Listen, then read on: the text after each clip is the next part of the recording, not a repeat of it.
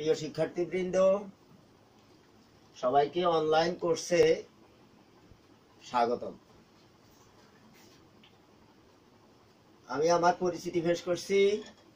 আমার নাম মোহাম্মদ নুরুল ইসলাম, সহকারী শিক্ষক ইংরেজি কেশারখিল বালিকা উচ্চ বিদ্যালয়, সোনাইমুড়ি, নোয়াখালী। শিক্ষার্থীবৃন্দ, আজকের ক্লাস হচ্ছে ক্লাস এইট ইংরেজি দ্বিতীয় ভাত্রের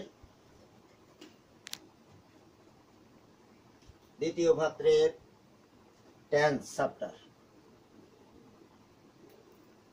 সর্বপ্রথমে টেন্স শব্দটি এসেছে ল্যাটিন ভাষা। ল্যাটিন ভাষা টেন্স শব্দটি এসেছে। টেন্স শব্দটির অর্থ হচ্ছে কাল বা সময়। টেম্পাস শব্দ থেকে এর উৎপত্তি। টেম্পাসের বাংলা অর্থ হচ্ছে সময় বা কাল। কোন ভারব বা ক্রিয়া সংগঠনের সময়কে টেন্স বলে। যেমন আই ইট রাইস আমি ভাত খাই এখানে আই হচ্ছে সাবজেক্ট ইট হচ্ছে ভার এবং রাইস হচ্ছে অবজেক্ট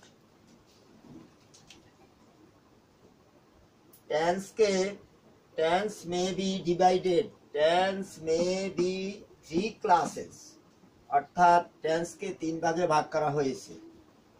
লাইক যেমন present tense past tense future tense present টেন্সের বাংলা অর্থ হচ্ছে বর্তমান কাল।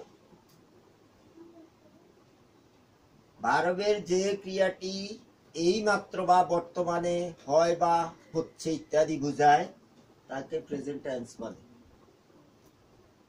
যেমন আই ডু দি সাম দুই নং হচ্ছে পাস্ট টেন্স বাংলা অর্থ অতীতকাল। যেমন আই ডিড দি সাম তিন নম্বর হচ্ছে ফিউচার টেন্স অর্থাৎ ভবিষ্যৎকাল। I shall do the sum তোমরা সকলেই মোটামুটি টেন্স তিন প্রকার মনে হয় বুঝতে পেরেছ। এরপরে আমরা সকলে এই কথাগুলি জানব। প্রেজেন্ট টেন্সকে চার ভাগে ভাগ করা হয়েছে পাস্ট টেন্সকে চার ভাগে ভাগ করা হয়েছে ফিউচার টেন্সকে চার ভাগে ভাগ করা হয়েছে।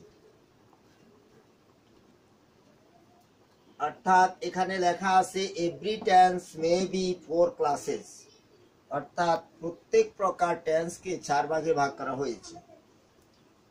লাইক যেমন indefinite continuous perfect perfect continuous এটার সাথে আমরা যদি বলি প্রেজেন্ট টেন্স চার প্রকার, বলতে হবে present indefinite present continuous present perfect present perfect continuous অনুরূপভাবে যদি বলা হয় পাস্ট টেন্স চার প্রকার, যেমন first indefinite first continuous first perfect first perfect continuous এরপরে যদি বলা হয় ফিউচার টেন্স চার প্রকার future indefinite future continuous future perfect future perfect continuous সবাই চার প্রকার টেন্স সম্পর্কে, তিন প্রকার টেন্স এবং প্রত্যেক প্রকার টেন্সকে যে চার ভাগে ভাগ করা হয়েছে, মনে হয় সবাই বুঝতে পেরেছ। আজ এই পর্যন্তই। সবাইকে ধন্যবাদ জানিয়ে আজকের ক্লাস থেকে বিদায় নিচ্ছি। ধন্যবাদ।